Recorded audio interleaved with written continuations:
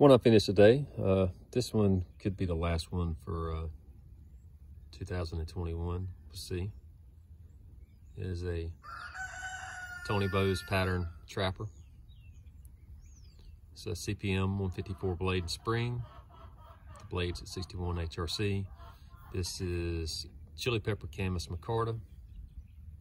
It's a 416 stainless ghost pivot, 410 stainless liners. The liners have been relieved and jeweled. It's got a, a fairly stout spring. Uh, it was uh, flush in the closed position. It's flush, half stop.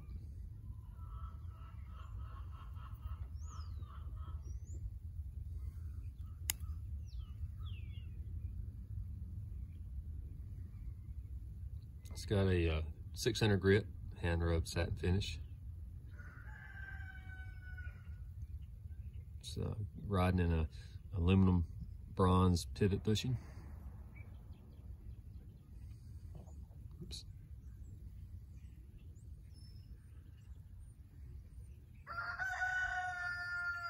Like the way it came out.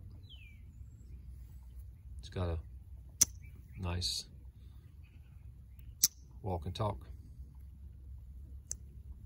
So, there we go. Hope you're doing well. Take care.